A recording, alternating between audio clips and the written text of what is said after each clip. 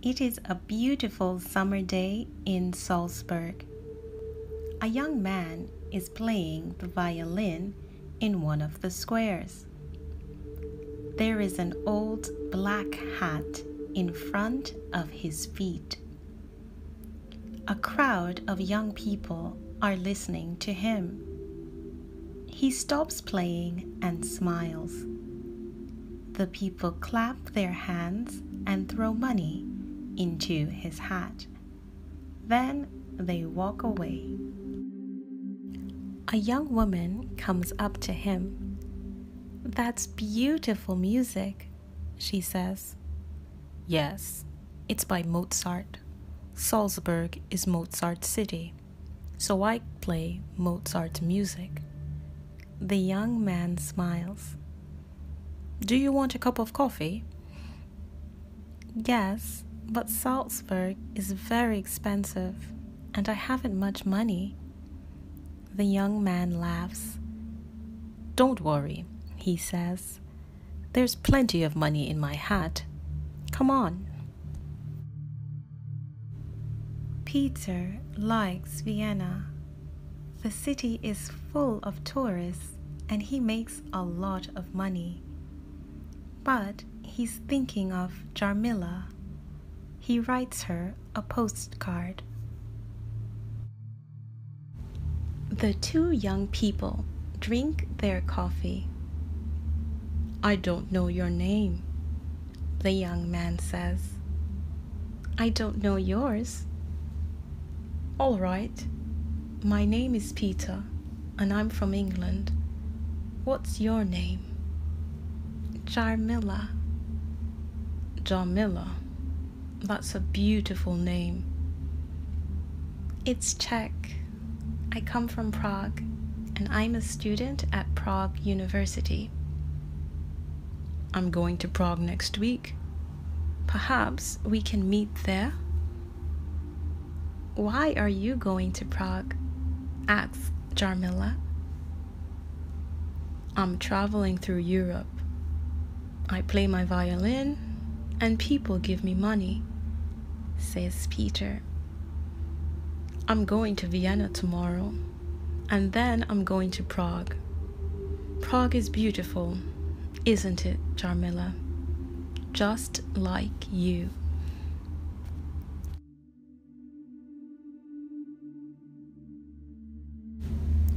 Jarmila smiles, but she doesn't say anything. Can I see you in Prague? Peter asks. I don't know. Perhaps. Yes. Where? In the old town square. There are lots of tourists there at the weekend. You can play your violin there. All right. The old town square next weekend. Don't forget, Jarmila. Dear Jarmila, this is St. Stephen's Cathedral. I'm playing my violin outside the cathedral. The people here like my music, but I'm thinking of Prague and the old town square. Wait for me there. Love, Peter. Now, Peter is in Prague he is playing his violin in the old town square. His hat is in front of his feet. People clap their hands. Some of them dance to the music. Everyone is having fun. But Peter is looking for Jarmila. Suddenly, he sees her at the back of the crowd. But she is with a young man. The young man has his arm around her shoulders. Peter puts down his violin and runs towards them. Jarmila! he shouts. Jarmila! But there are too many people, and at first he can't get through the crowd. He pushes people aside and gets to the back of the crowd, but he can't see Jarmila. She isn't there. Peter is very sad. He walks the streets of Prague looking for Jarmila. He crosses the river and climbs up the hill to Prague Castle. It is evening now. He looks down on the lights of the city below. He thinks about this afternoon. He thinks about Jarmila and about the young man with her. Who is the young man? He asks himself. Where is Jarmila? Peter speaks his thoughts aloud. Jarmila, Jarmila, where are you? Why are you hiding from me? But I'm not hiding from you, Peter, a voice says. I'm here. And Jarmila steps forward. Peter puts his arms around her. They kiss. Oh, Jarmila, is it really you? Yes, Peter. But why? Jarmila puts her finger to his lips. Wait, Peter. I want to tell you everything.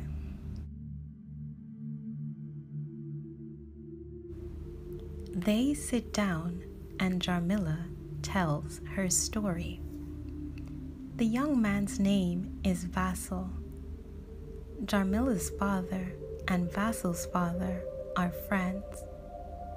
Jarmila likes Vasil, but he is in love with her. Vasil wants to marry her. Her father wants this too. But I cannot marry Vasil, Jarmila says. Vasil is a nice man, but I do not love him. I love you, Peter.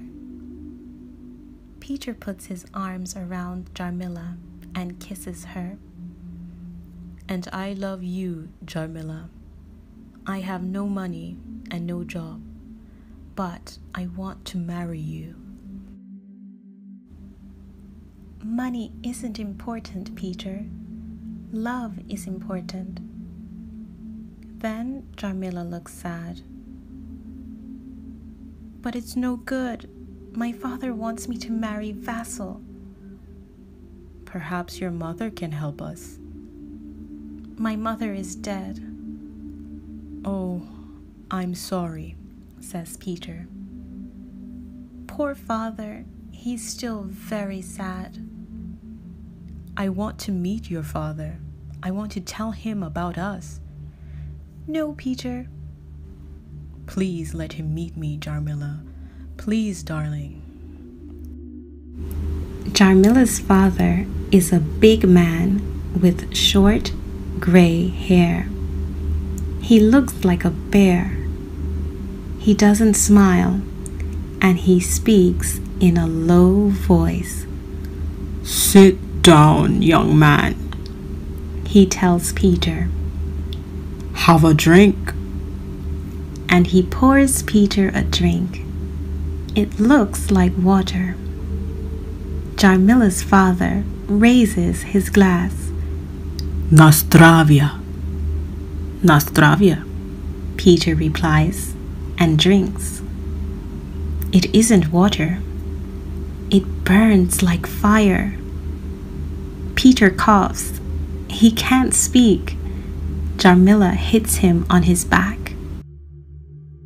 Now, young man, you want to marry my daughter.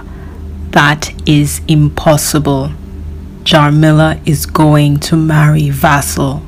His father and I are friends and... But father, I do not love Vasil, Jarmila says. I love Peter and he loves me. What do you say, Peter? Speak up, man. But Peter cannot speak. He is still coughing. Jarmila brings him a glass of water. He drinks it. At last, Peter can speak. Yes, sir, it is true, he says. We love each other. Nonsense. Love is not important. Have you got a job? Have you got any money? Well, I. You have no job and no money, and you want to marry my daughter? Nonsense.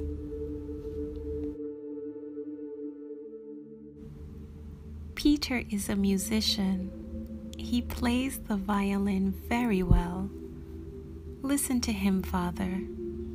Jarmila turns to Peter. Play for us, Peter, she says. Peter starts to play. He plays Czech music, and it is very sad. Jarmila's father closes his eyes. Then tears run down his big face. Jarmila's father is crying. My Eva's favorite music, he says. Oh, Eva, my dear wife. Jarmila kisses him and dries his tears. Don't cry, father, she says.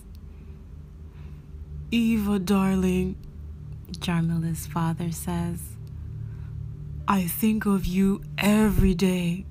I love you still. Love is important, father, isn't it? Jarmila's father kisses her hand. Oh, yes, my dear. You are right. Love is important. Marry your violinist, Jarmila, and be happy together. And God bless you.